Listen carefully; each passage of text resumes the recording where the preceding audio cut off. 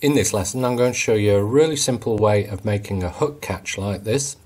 It's got a tension arm and it's very simple to operate, easy to make and very secure.